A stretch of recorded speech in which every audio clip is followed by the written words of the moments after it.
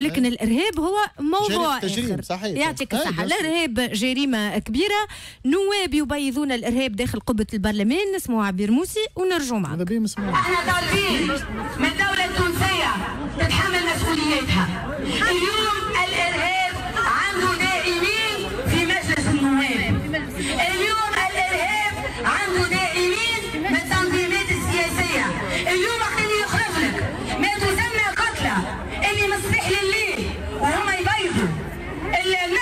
الناطق الرسمي بتاع أنصار الشريعة.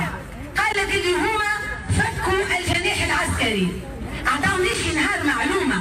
الجناح العسكري اللي فكوه شنو مآله عندك من 2006 5448 واحد تحالوا قدام القضاء تمشي فيهم إجراءات عرفوا ليش بيهم حتى من السلاح الشرطي مدعوهم به. وهذايا ما يجيش لأنه باش يوليوا الإرهابيين يقولوا لهم به. سيف الدين مخلوف الإجابة على عبير موسي ومع العلم أنه مبروك رشيد أيضا زميلك نائب شعب جاء بحثنا هنا وتحدث رأسا عليك أنت سيف الدين مخلوف يقول أنك عندك تصاور وأنت شادد كلاشينكوف ومع شخص أيضا هو مشتبه فيه أنه يكون إرهابي. قاعدة نقول لك النواب زملائك وهنا نحكي على. برلمان.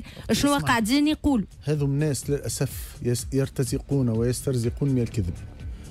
هذوما خدمتهم الكذب. كي تقول لك 5400 راكم في الحابس مم. ما ثم حتى واحد خذا سراح. شرطي ولا واحد خذا عفو.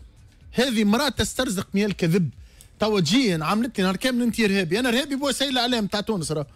مالكش أنا مجرم بالحق ولا هابط من الجبل ولا نعيش بالسلاح الآخر سي كرشيد محامي. يعرف لي أنا عندي تصويرة معايا 154 محامي. في بوابة الذهيبه مشينا عملنا قافلة وقلتها مليون مرة. ويعرفها مع جمعية المحامين الشبان. وفي التصويره مصورين معايا زوز محامين يعرفهم بالاسم. ويعرف في تليفوني هذا ثم على الأقل 50 محامي متصور بالكلاش هذاك. أنا فقط هبطت مش نسرق أنا. مشينا في البوابة ومعنا الشرطة والجيش والحرس وقابلنا الثوار وخذينا العلامات وكذا نها- 7 ماي 2011 وقت اللي مازالوا كيحروا البوابة نتاع الذهيبه يجي هو توا يحب يسترزق من الكذب. فما نواب في ائتلاف الكرامة